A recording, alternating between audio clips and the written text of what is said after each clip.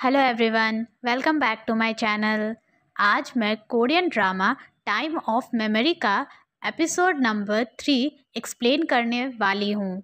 अगर आपने इस ड्रामे का एपिसोड वन और टू नहीं देखा तो आई सजेस्ट यू कि आप पहले उसे देख लें ताकि कहानी आपको अच्छे से समझ आए। अगर आपको मेरी एक्सप्लेनेशन पसंद आती है तो चैनल को सब्सक्राइब कर लेना और बेल नोटिफिकेशन ऑन करना मत भूलना। तो बिना किसी देरी के चलो शुरू करें।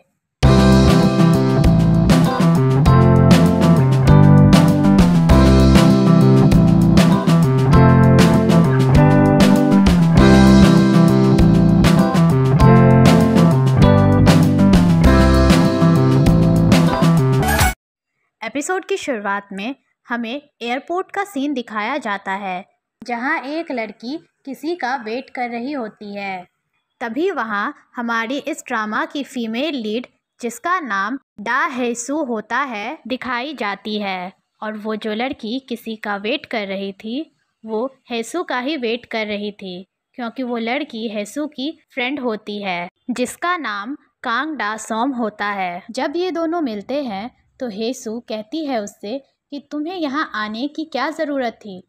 जब तुम बिज़ी थी तो उसकी दोस्त कहती है कि तुम्हारी मॉम ने कल मुझे कॉल किया था और वो काफ़ी फंसी साउंड कर रही थी और कहती है कि अब चलो, मुझे बहुत भूख लगी है। ये कहकर सोम वहाँ से आगे चली जाती है।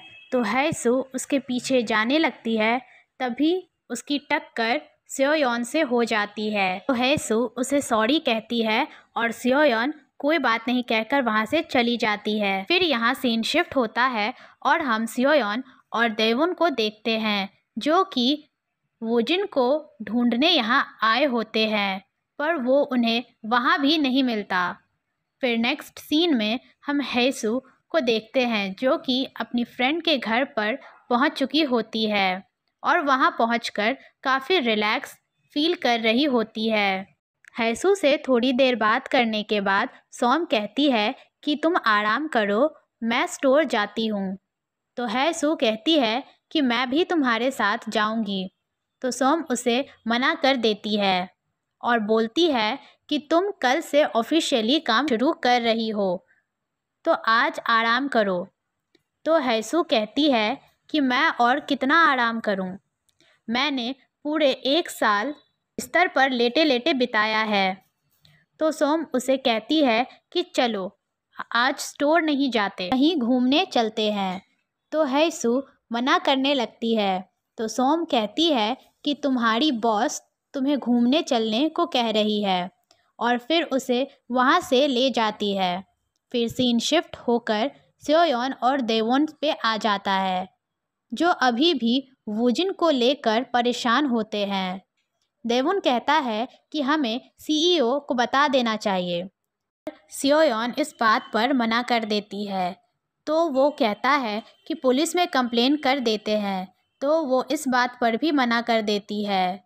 फिर नेक्स्ट सीन में हैसू और सोम दोनों घूम रहे होते हैं तो सोम पूछती है कि क्या तुम सांस ले पा रही हो? कहीं तुम्हें घुटन तो नहीं हो रही? तो हैसू उससे कहती है कि मैं एक साल तक यूएस में थी पर लोग ऐसे बिहेव कर रहे हैं जैसे मैं दस साल वहाँ पर थी।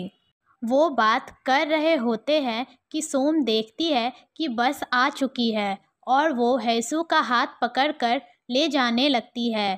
तभी हैसू एकदम से रुक जाती है और फिर हमें एक फ्लैशबैक दिखाया जाता है, जहाँ एक लेडी हैसू का हाथ पकड़कर उसे कहीं ले जा रही होती है। तो हैसू को ऐसा देखकर सोम उससे पूछती है कि क्या हुआ? तो हैसू की हालत बिगड़ने लगती है। तो सोम पूछती है कि क्या तुम ठीक हो? तो वो कहती है हाँ मैं ठीक हूँ।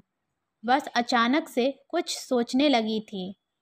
तो सोम कहती है कि क्या हम घर चले? तो हैसु कहती है, मैं ठीक हूँ। फिर वो वहाँ से चले जाते हैं।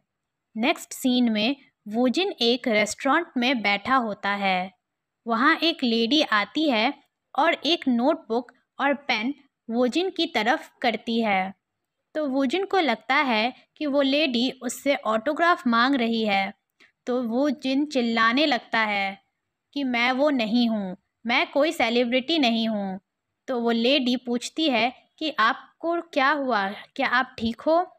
मैं यहाँ आपका ऑर्डर लेने आई हूँ और उससे कहती है कि ये मेनू है और तुम्हें जो चाहिए वो इस पर लिख दो। तो वो कहता है अच्छा। और बहुत एम्बेरस होते हुए अपना ऑर्डर देता है।